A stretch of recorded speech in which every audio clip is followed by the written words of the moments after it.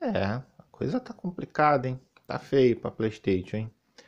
Vamos estar tá comentando sobre sobre essa crise que está acontecendo na Band, o Bung, sei lá como é que você queira chamar, cara. Enfim, eu falo Band. Na, na Band, que é o estúdio que faz o Dash, né? Que a Sony comprou aí já tem alguns anos.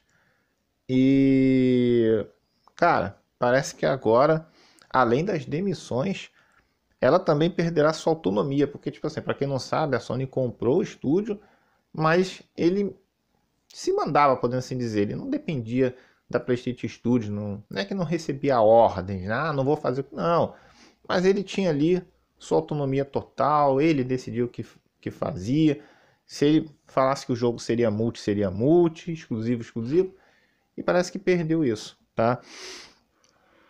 Que agora quem manda aí na, na, na Band é o CEO da PlayStation, né? Bom, vamos ver essa matéria aqui, né? A desenvolvedora está passando por um momento bastante difícil após anunciar a demissão de 220 pessoas, isso é oficial, tá? O que representa 17% do quadro de funcionários. Isso é muito alto, tá? Isso é muito alto. 200 e mais de 200 pessoas não é pouco e quase 20% do quadro funcional não é uma parada. Ah, mas é pouco, só 20%, 17 no caso. Não, isso é, isso é muito. Vai por mim. Juntamente com essas demissões, o jornalista Jeff Grubb decidiu comentar a respeito nas redes sociais, afirmando que a Band agora é dirigida por Herman Hurst, um dos chefes da PlayStation. O Jeff Grubb observa que as demissões, na verdade, afetariam 350 empregos, mas em vez disso ter acontecido, foi decidido enviar muitas pessoas para trabalhar na, na Sony, né? Sony Interactive Entertainment, está aqui, CA, né? podemos assim dizer. No caso, a empresa decidiu realocar outros 230 para a Sony. Além disso, a situação parece estar mudando dentro da Band, pois Jeff Gruber afirmou que a desenvolvedora perderá sua autonomia e se tornará como qualquer outro estúdio dentro da PlayStation Studios, sob a liderança de Herman Hurst. Essa mudança ainda não foi terminada e é apenas o começo que está começando agora. Lembrando que a Band confirmou que está que, que apesar das recentes demissões, o roadmap de, do conteúdo do Destiny 2 permanecerá intacto, inalterado. Assim, olha, vamos lá, vamos lá, vamos lá. É, esse negócio de você comprar um estúdio e deixar ele, ah, não, vamos dar autonomia, ele decide. Cara, isso não existe. Tá, e isso não existe. Isso, na minha opinião, é conto de fadas. Tá? Acho que a partir do momento que você compra um estúdio, você sim, você dá liberdade criativa para o estúdio. Mas não dele, não. É, vamos supor, eu, a, a, sei lá, a PlayStation mesmo que comprou a Band. Aí a Band fala assim: ó, a gente vai lançar o Destiny e ele vai sair para todas as plataformas, por exemplo. Cara, porque aí a Sony olhar e fala assim, como é que é? Vai lançar pro Xbox? É, a gente decidiu, não. Cara, isso não existe. A Sony com certeza iria vetar na hora, falar assim, não, vocês não vão lançar. Se a Sony quiser que o jogo seja exclusivo, ela vai falar é exclusivo ponto final. A palavra é sempre da empresa que comprou, que manda. Não é tipo é, esse negócio de autonomia, cara, isso é um puro conto de fadas. Isso, gente, isso não existe.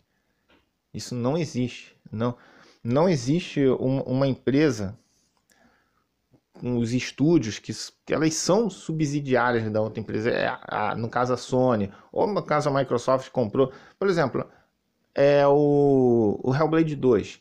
Se um dia chegar no PlayStation foi porque a Microsoft decidiu, não foi porque a Ninja Theory de, decidiu e falou: não, a gente vai. A gente decidiu fazer o porte para o PlayStation. Não. Por exemplo, o Wi-Fi Rush chegou provavelmente a contragosto da Tango no PlayStation. Não foi porque a Tango quis, porque a Microsoft quis. Entendeu? Ela que manda. Esse negócio de, ah, não, porque a empresa vai continuar com sua autonomia, isso não existe. Liberdade criativa é uma coisa. Você dá liberdade criativa para ela criar os jogos, os projetos que ela tem e, e, em mente criar, isso foi uma coisa que a Sony, por exemplo, que a gente sempre elogiou, tirou isso dos estúdios quando forçou elas a fazer é, é, jogos live service. Aí ela abusou do poder. Pô. Aí é bizarro. Por mais que ela mande, você encontra os projetos que, já, que as empresas sempre são. Que, que sempre criaram, que jogam single player, e você forçar ela a fazer algo que elas não sabem, aí, porra, vai contra tudo. Aí eu não sou a favor, porra. Agora, essa questão de decidir, autonomia total, aonde eu vou postar o jogo e tal, não, porque a gente vai, vai postando. Não, isso não existe. Isso não existe. Então, assim, é uma crise, né? Eu sabia que esse negócio de autonomia, apesar de não ser oficial, mas eu acredito que isso aí não ia durar realmente muito tempo, tá? É... Vamos ver o que, que acontece, cara, porque, cara, é, olha, é, é foda porque, assim, a Sony, ela se perdeu com essa parada de forçar live service, né? E a Band era responsável, né? Que é uma coisa que eu sempre critiquei. Cara, não existe. Você, cara, existe sempre uma hierarquia nas empresas. Então, os outros estúdios, além de estarem fazendo um tipo de jogo que eles não gostam, você vê um estúdio novo chegar e ficar mandando nos seus projetos dizendo que isso aqui tá ruim, isso aqui tá bom, não, isso aqui não tá legal. Cara, isso é a pior coisa que você pode fazer um clima ficar horrível na empresa. Quando você bota uma empresa nova, ah, mas ela tem experiência. Concordo, pô. É uma das empresas mais experientes que sabe fazer um que fez um live service que, é, que era pago. Destiny não é um live service, agora é gratuito o jogo base. Mas ele era pago. É uma das poucas empresas que fez um live service pago ser sucesso.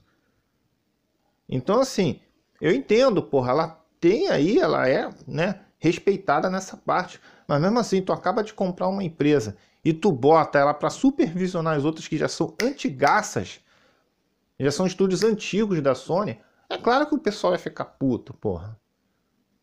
E ia acontecer aquilo que aconteceu. O cara da Naughty Dog bateu o pé e falou: não vou mais fazer live service, cara.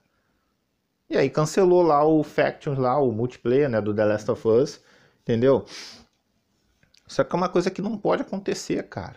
Uma coisa que não pode acontecer, tá?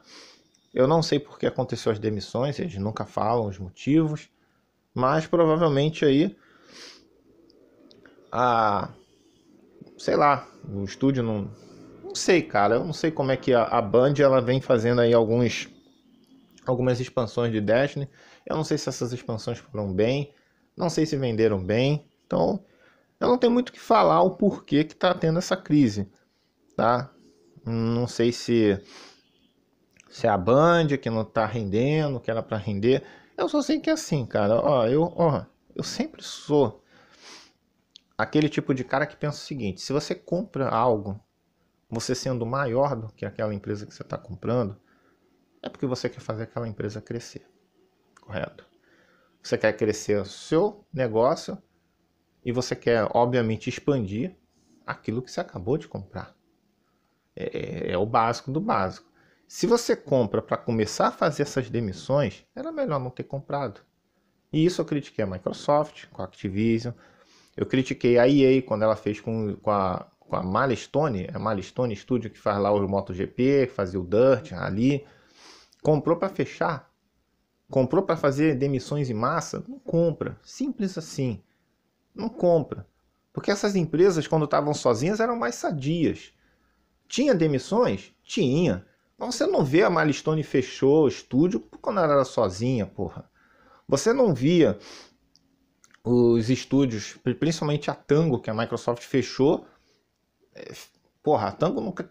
Desde que ela foi aberta sendo independente, porra, ela nunca passou perto de ser fechada.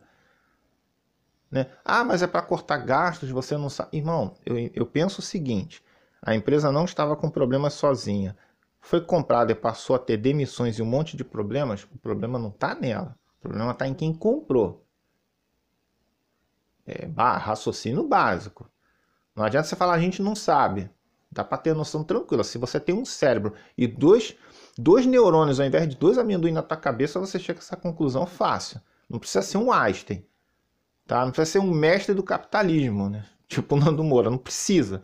Porra. Então, assim, é a Sony tem que tem que rever isso aí, cara. Tem que, tem que ver, entendeu? Para não deixar essa, essa crise crescer e afetar os outros estúdios. E se, na minha opinião pessoal, isso já afeta, porque é um estúdio responsável pelos outros live service, e ele passando por essa crise provavelmente pode fazer com que os outros estúdios também que estejam desenvolvendo live service pela supervisão dela passem pela mesma crise. Bom, é isso. Vou deixar o link na descrição, comentem embaixo, ou no comentário fixado, sei lá, comenta embaixo no vídeo, deixa o like, compartilha, e se puder não seja pão duro não, porra. Vira membro do canal para tá dando aquela força extra aí. Eu vou ficando por aqui. Forte abraço, fica com Deus. Opa, é nóis.